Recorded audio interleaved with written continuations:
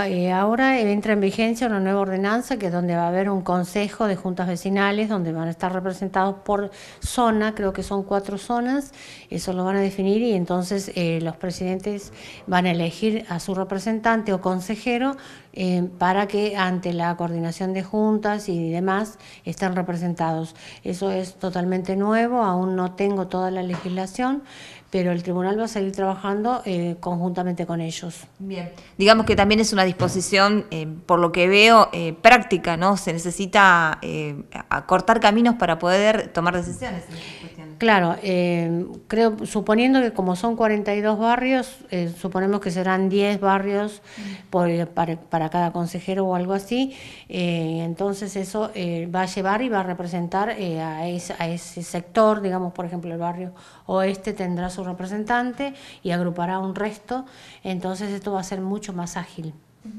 ¿Esto comienza a tener vigencia a partir del 2020 o ya estaría antes de fin de año? No, creo que es antes de fin de año, cuando asuman las nuevas autoridades, ahí se va a conformar todo esto que te estoy comentando.